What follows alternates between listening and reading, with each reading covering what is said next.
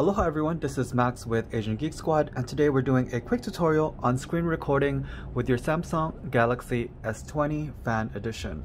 We'll be recording a lot of tutorials like these, so don't forget to subscribe for future updates. Alright, let's go ahead and get started. The first thing you want to do is adjust the settings for screen recording. To do that, tap on Settings and scroll down until you see Advanced Features. From there, scroll down again and you'll see the setting, Screenshots and Screen Recorder. Then here on the bottom, you'll see Screen Recorder Settings, tap on that. The top option here, you don't have to worry too much because every time you start a screen recording, you'll be asked for which sound option you would like. However, these two settings you cannot change once you start the recording, so make sure you select the video quality size and also your selfie video size. I'll go ahead and start with small for now. I will leave the video quality at 1080p and I will leave the selfie video size at small.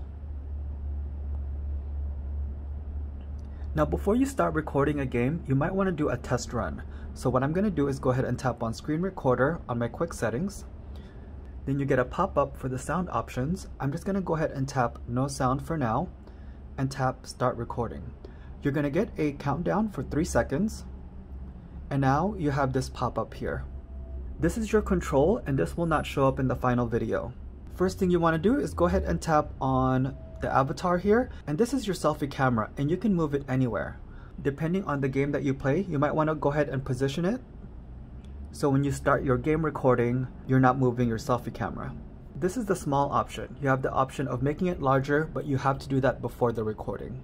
Now let's go ahead and record a game. I'll go ahead and select Vengeance for now just a friendly tip, if you're going to record a game, make sure you put your phone on mute and do not disturb so you don't get annoying pop-ups. Now that I'm going to start a game, let's go ahead and start the screen recorder. So now that you have the option of picking the sound. I'm going to go ahead and select media sound and mic. You have a three second countdown. And now we have the pop-up here again. This will not show up on your final recording. And if you want to make it disappear, just tap on the arrow. When you want it to come back, you have to swipe and you can move it around again. As before, there is there's the avatar here. I'll go ahead and leave that off. And you can also write on the screen while it's recording. And you have the option here of different colors. And to make it all disappear, just tap on the pen again.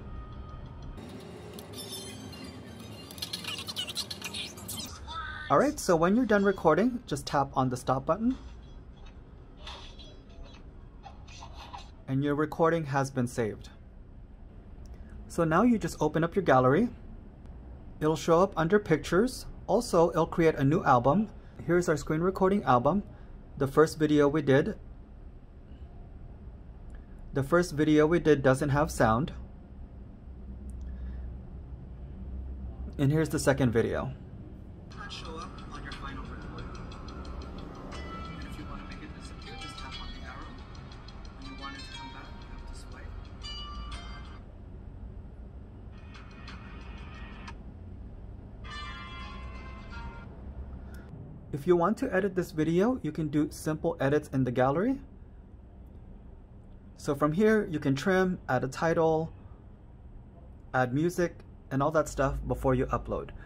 You can also change the resolution here at the top in case the file is too big.